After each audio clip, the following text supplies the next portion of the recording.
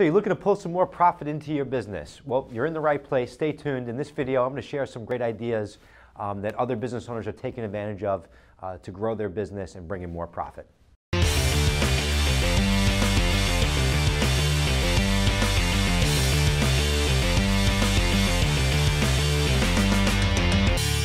Thanks for tuning in to Grow by Joe. My channel is all about helping business owners grow.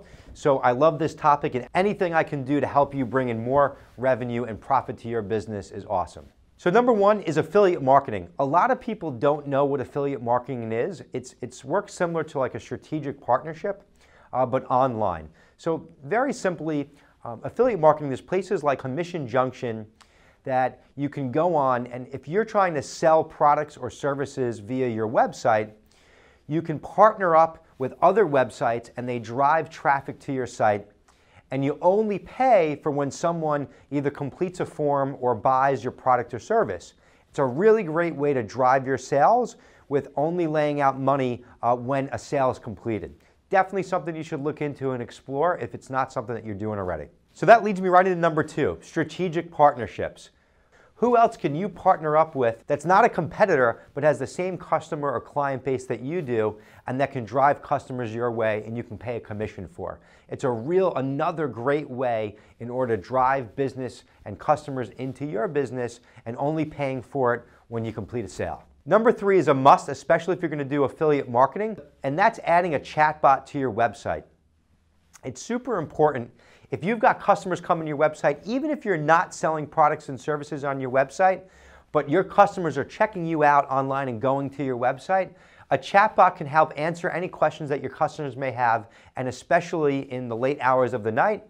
Um, but they can capture your customers' information and make sure that anyone that's come to your site does not turn into a lost lead. Number four, renegotiate terms with your vendors and cut expenses. You know, this may seem so obvious, but so many people don't do this, and it's crazy to me.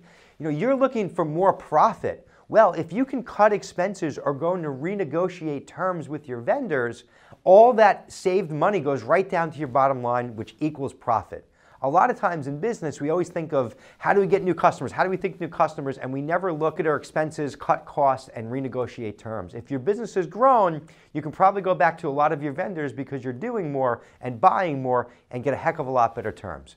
Definitely a great area to check out. Number five, outsourcing. There's so many things that you can outsource in your business today at a fraction of the cost of what it would be to have a, a full-time or part-time employee. From bookkeeping to web design to social media management to even a virtual assistant, these are areas that you should definitely be looking at um, and can help reduce your costs, which equals profit.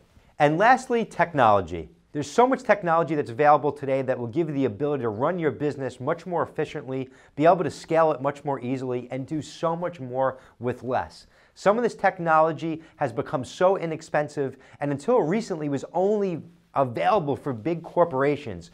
Now any business can compete with the giant corporations of the world, which is amazing. So definitely make sure you're looking over your business and figuring out ways that you can implement technologies to do more with a heck of a lot less, which again will equal more profit.